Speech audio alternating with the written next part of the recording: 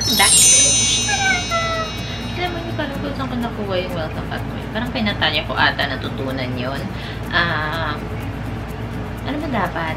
Hi guys! Ito na. Parang pangit din. Hi guys! So, today, mag-start ang aking vlogmas. Ano ang vlogmas? Uh, everyday siyang vlog hanggang makarating at umabot ng December 25. So, late na tong Vlogmas 1 ko. So, I think ang mangyayari, magkasunod yung Vlogmas 1 and 2 Pero okay lang yan. Kasi, bongga ang aking Vlogmas 1. Dun, dun, dun, dun! More Jacobs, unboxing, Snapchat, shit talaga. Again, take two. Snap, snapshot camera bag. Okay, ang ganda ng pagkasabi ko nun. So, ngayon, wait lang, adjust natin. Parang gusto kong pumuti ng konti. Paano ba yan? Ayan ba yan? Ayan, I'm pretty good. Masyado parang kunin yung yan. Okay na yan. So, nakafocus mo sa akin? Parang hindi. Ayan, nakafocus ako. Ang gagawin natin is unbox natin. Taran! Has a paper bag, dust bag, and then open natin. So, before kayo open, sabihin ko muna na binili ko to sa IG seller kay Authentics Bags for Sale. And, ang price niya is 21,500 free shipping naman. Tapos, pag sa store ka bumili, it's 22,500. So, of course, magka-question kayo, 1,000 lang ang difference at pag tinipid ko. Siyempre, hindi naman dahil sa tipid. Um, kasi ayoko din na ipilit yung sarili ko na yung mga colors kasi na nasa store is pink, blue, purple, and white, and yellow. So, hindi ko siya bet yung mga colors. So, nagharap ako sa IG sellers kasi um, yung previous bag ko or yung isang bag ko, which is yung Gucci Dome, small, mini Dome, maliit din siya. Um, binili ko naman siya sa IG seller kay Shop with K.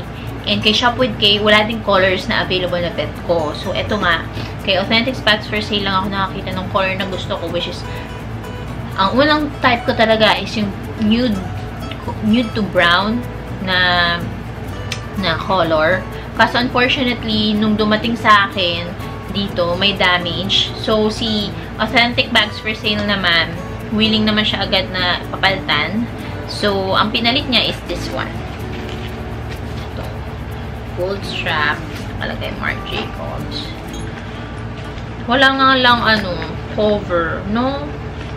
Tapos, ito.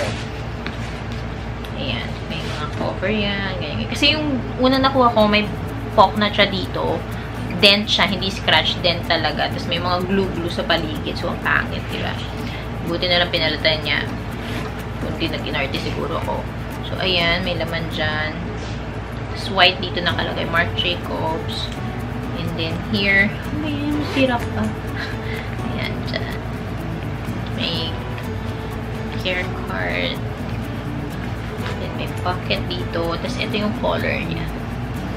Maniwala kasi hindi, ang nilalagay ko dito is front is my cellphone and then sa likod is itong G7X na camera ko. Astig no na kasha. Hindi din siya super parang ang bigat-bigat kasi nga, ang nice ng strap niya, kayang-kayang bitbitin. Tapos, hindi siya pang formal, pang casual lang talaga siya. And then, ito yung try, um, price tag. And meron din tong cover para dito. So, all good naman. If you're gonna buy it in IG sellers or personal shoppers, okay na okay naman siya. Um, make sure nyo lang na madaming may review na sa mga sellers na bibilhan nyo para hindi kayo mapeke. Kasi ang dami ding peke nito, lalo na sa Divisoria and sa uh, Green Hills. Sobrang dami, as in.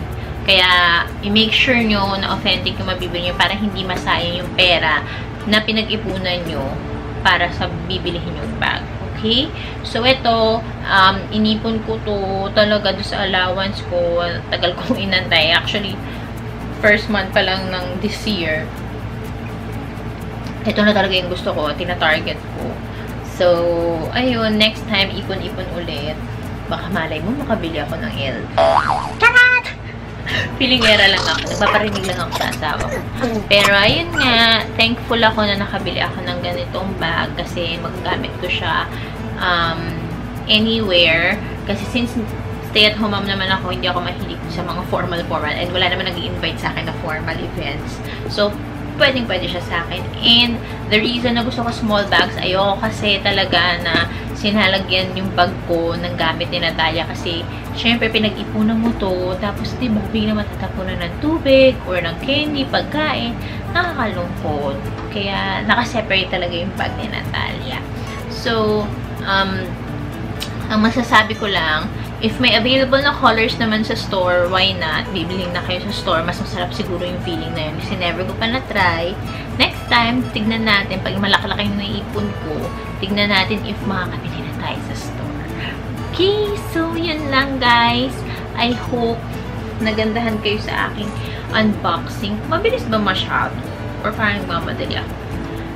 Pero ayan, tignan nyo.